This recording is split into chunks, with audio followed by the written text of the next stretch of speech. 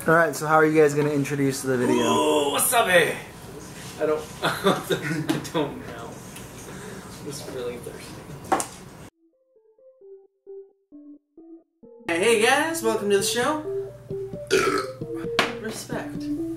Anyway, we're gonna play a little game. Um, me and Colton here are gonna have uh, five cards with different words on them. Neither of us have seen either of the words, uh, and we have to incorporate these words in our conversation. Whoever gets through all their words first, in chronological order, wins.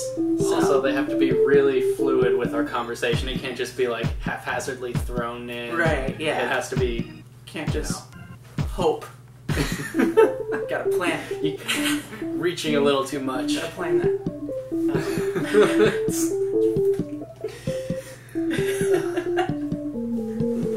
So. How am I gonna do this?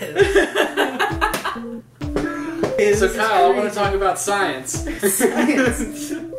That's a very interesting topic. Is that one that you would like to talk about?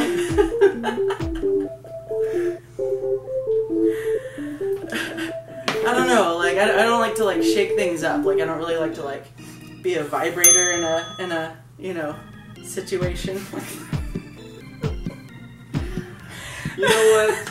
We always vibrate. The particles of our being vibrate like electrodes. like electrodes and the electrodes that make up the molecules in your you body. electrons? Yes, the electrons that make up the molecules in your body. I'm gonna take a drink. and make you muy guapo. I thought you said Gordo, and I was almost offended. guapo is the word. I'm good.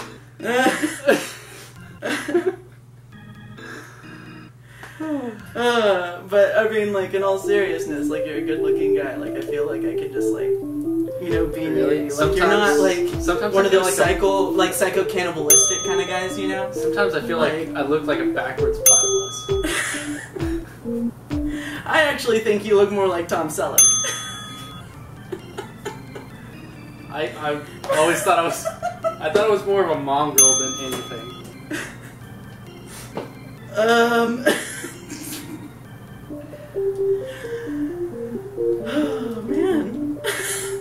got nothing. Nothing, no wordplay, Uh, gunplay, anything. gunplay.